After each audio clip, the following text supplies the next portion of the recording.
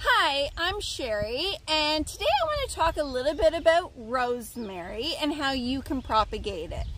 So do you want a fuller, bushier rosemary plant? Of course you do. We all do. Because the bigger it is, the more you can harvest. And so I'm going to show you two ways of propagating your rosemary so that you have a bushier plant and more rosemary in general.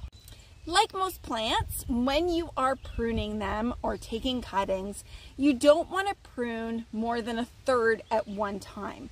Pruning more than a third at one time is probably going to stress the plant out and that's the last thing you want, especially when it's so hot out and they're probably already stressed.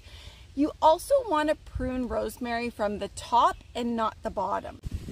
When you're pruning your rosemary plant, you want to prune it right at the fork in the road there. So you want to go right above that fork. That way, these pieces here are going to start branching out and grow a bushier plant for you.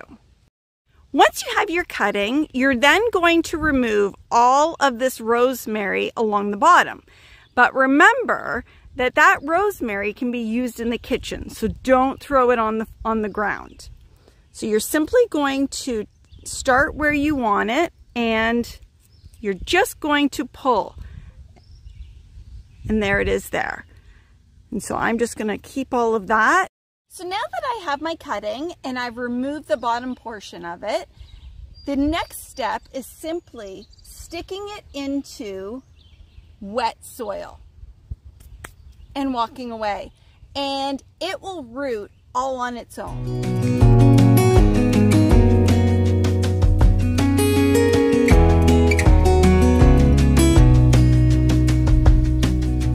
Lost again, going back around. I really wish you could smell this amazing rosemary smell.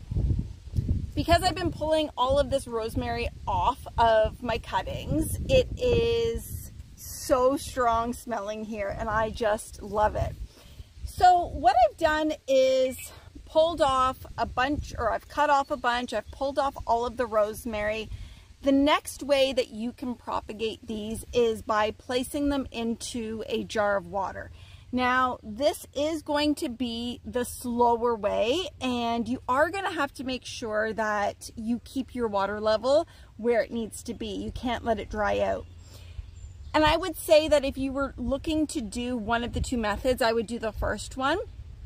I'm going to do the second one as well because I have my mom, or I've asked my mom to go to some of the thrift stores and to find me some smaller ceramic pots.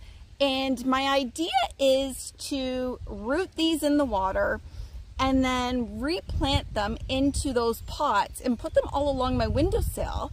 So when people come to visit me, I can give them a small little rosemary plant to take home, which will have only cost me a dollar or two from the thrift store and a little bit of my time. So you're simply going to add them into the water and it will probably take four to six weeks for these to really root.